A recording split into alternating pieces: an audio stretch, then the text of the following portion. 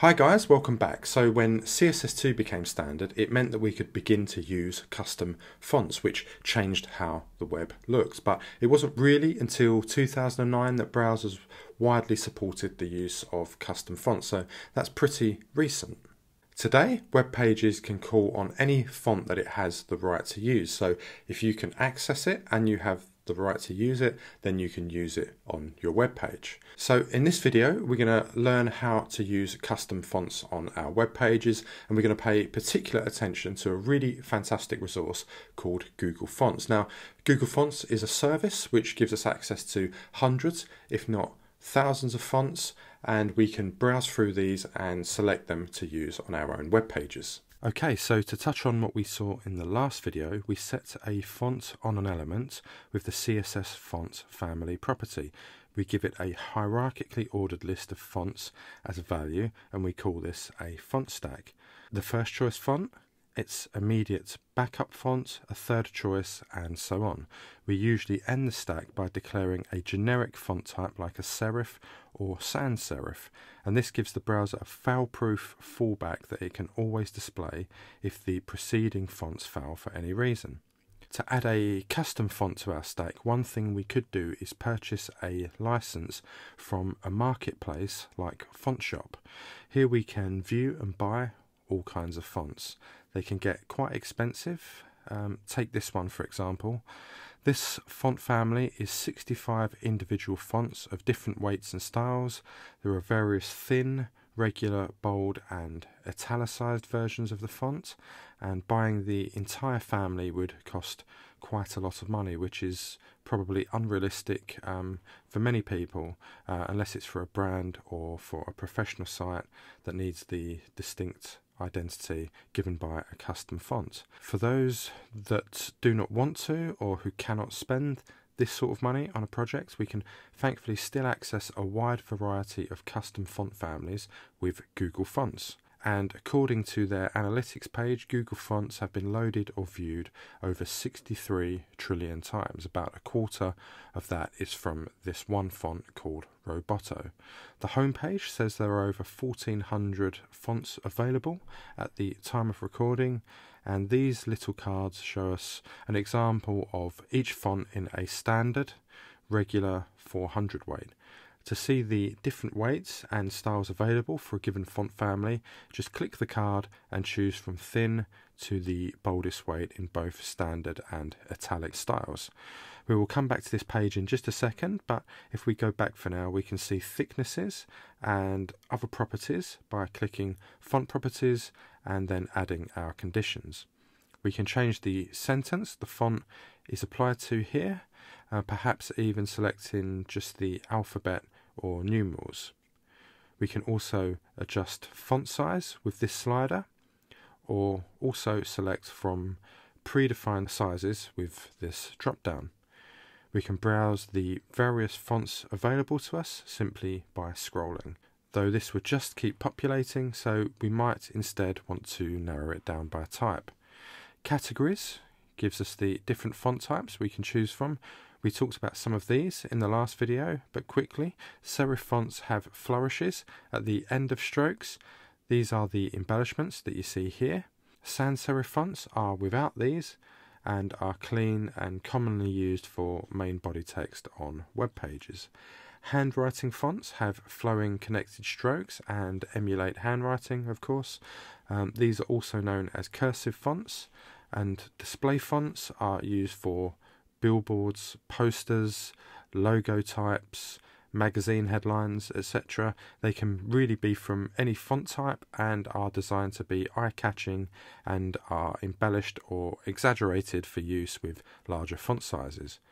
Monospace fonts, which I haven't yet mentioned, are simply fonts that display every character in exactly the same width. Okay, so let's how we go about using one of these fonts on a web page. We'll select Roboto and we see that it has the different weights available from 100 all the way through to 900 plus italic styles. Each of these in this list is a font that belongs to this one font family. So if there are weights and styles that you don't intend to use, then you need not select them. Any you do select will be sent by Google, so you should select just the fonts you need and avoid unnecessary increases in the file size sent by Google, which which could lead to slower load times. So let's select maybe just three weights. We'll have one thin, one regular, and one bold. Most of the time, I would probably only use two weights to be perfectly honest one for headings and one for the main paragraph text. We can remove them at any point if needed later on and add others quite easily. We could download these fonts as a file, which we add to our project's file structure and link to those with a link tag, but we're not going to do that as Google's API serves them to users over the web whenever they load on a given website. So instead, we can take these three link tags, we'll copy them, and then we will paste them into the head of this HTML document. This means the Roboto fonts we selected are now available to use on our web page. We see Google gives us this CSS declaration of property and value here.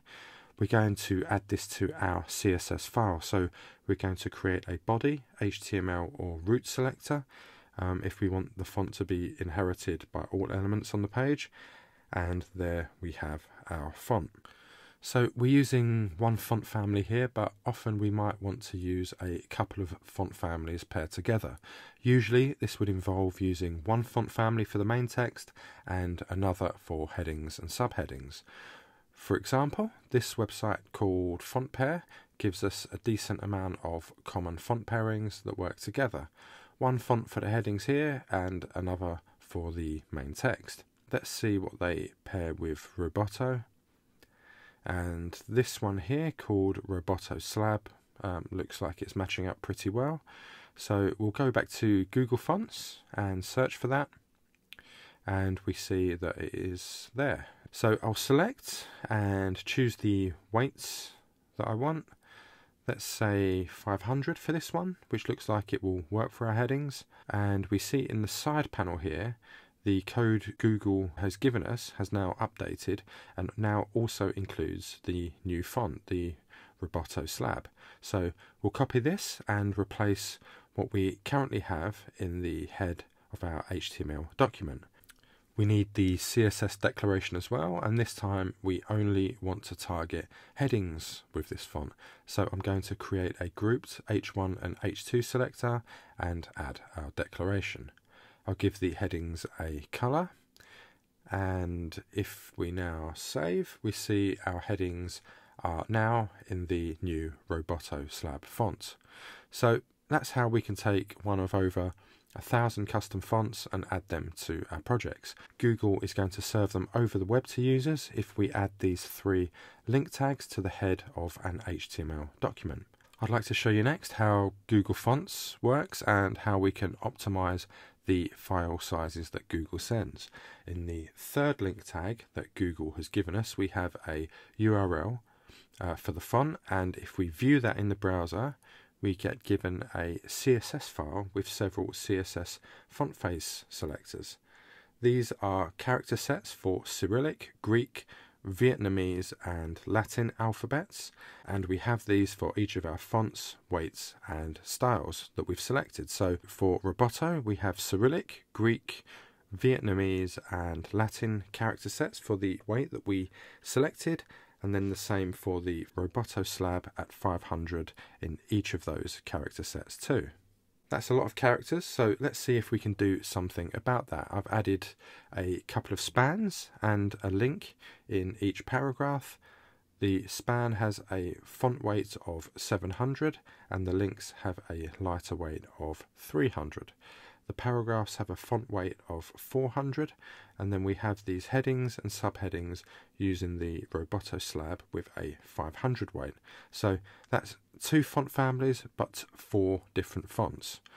I'll open DevTools and select the Network tab and when I now reload this page you see that we have our HTML document, our CSS style sheet, the linked style sheet sent by Google Fonts and four individually sent fonts. If we click on each of these, we can see what they are. If you're not seeing them here in this panel, make sure that you are in the Network tab You can click here to disable cache and then reload. Then you can click on each of these font types and you should be able to see which one is which in this preview window. So you see we're not only sent one Roboto font and one Roboto slab font, we're getting three fonts sent from the Roboto font family. Each one of these is fetched by the browser as a separate resource and requires time to load. We can see the size of each file here and we can bring this file size down by limiting the characters that we use. So for example, as our page does not contain any numbers presently, we could ask Google as a trivial example, to only send us some letters. So in the head of our HTML document, I need to add something extra to the URL where the style sheet is located. It will accept a text parameter and I'm going to paste um, the alphabet, which is all the characters that I want Google to send, and I have all of the letters in uppercase and lowercase. Whatever you pass in here needs to be formatted to work in a URL. So if you have spaces or other characters, you're going to need to escape those or format them for a URL. But anyway, if we ask for just those characters, that is all we're going to get. So we specify the characters we need and the file sizes now sent are much smaller. We can test what is being sent by not asking for, say, the two H's. And if I delete those from our text parameter and you keep your eye on the big H in the heading and the small h in the subheading, you'll see that when we save, they are displayed in the fallback font. So that's a cool little optimization for smaller font sizes. Okay, so that's Google Fonts, which is a really fantastic resource. It gives us access to hundreds and thousands of fantastic fonts that are freely available to use on our own web pages. So to recap, we looked at various font types and how using paid custom fonts can get quite expensive. For example, if you paid for a custom font uh, that came in um, several weights and styles, you could be looking at paying hundreds of dollars for the privilege. So we looked instead at Google Fonts and how we go about adding fonts from their library um, completely for free. We looked at font pairing and how Google Fonts is working behind the scenes. So if you're still unsure how to use fonts or pair them together, I recommend you look at Google Font Knowledge, and this will give you a better understanding of typographic concepts and aid you in choosing the right fonts for your project. So that's it. Thanks for watching. I do appreciate your time. Remember to like the video and sub to the channel if you feel like it. It really helps me to continue making this these videos. I know I've taken some time off recently. That's because I've recently started a new job and I've been learning how all of their systems work and plug in together and how everything's operating on the back end. So that's been taking up all of my attention of late. I do apologize. Videos will come out more frequently for now on. Um, in the next video, we're going to be looking at a really big topic, and that is CSS Flexbox. So it's probably going to be quite a long video. Um, so I'll get that out as quick as possible, and it should be on the channel very soon. So thank you once again for watching. I do appreciate your time and I will see you in the next one.